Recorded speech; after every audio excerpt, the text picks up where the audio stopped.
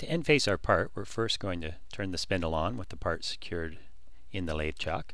Move the x-axis or cross slide in in front of the workpiece. Now slowly move the z-axis towards the chuck until your tool just touches the front face. Then hand feed the tool off of the part in the x-axis again.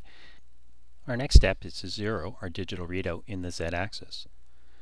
So on this readout I can push Z0 enter or push the Z0 to zero the readout. Our next step is to move in our depth of cut in the z-axis. So with my hand on the z-axis hand feed wheel, I'm going to move the tool towards the chuck, 25 thou, and then take that off of the end face and see if that removes all the saw cut marks. We've moved the tool in 25 thou in the z-axis towards the chuck. We're going to engage our cross feed now and let the tool cut towards the center. Once the tool reaches the center, we'll disengage the cross feed and hand feed it back off of the front face.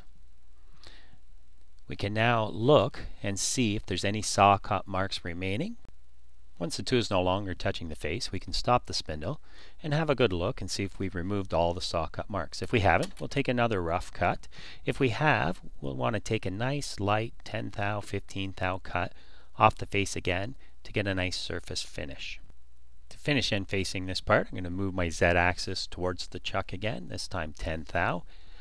Take a nice light finish cut to the center. So this time, however, once my tool reaches the center, I'm not going to hand feed it back because I don't want to scratch or rough up my surface finish. I'm going to move the z-axis away from the part and then I can feed it back by hand on the x-axis and